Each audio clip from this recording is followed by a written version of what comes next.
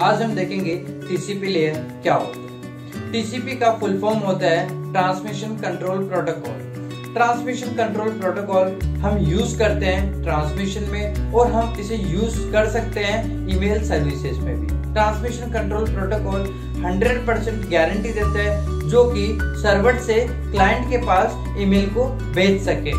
TCP को हम चार पार्ट में डिवाइड कर सकते हैं। Application layer transport layer internet layer और नेटवर्क इंटरफेस लेयर टीसीपी को हम यूज़ कर सकते हैं, जैसे कि फ़ोन में कॉल करने के लिए एसएमएस करने के लिए और एंड टू एंड कम्युनिकेशन के लिए। आज के वीडियो के लिए इतना ही। ऐसे ही हम इंटरेस्टिंग वीडियो लाते रहेंगे। इसके लिए हमारे साथ जुड़े रहिए और हम मिलते हैं नेक्स्ट वीडियो में।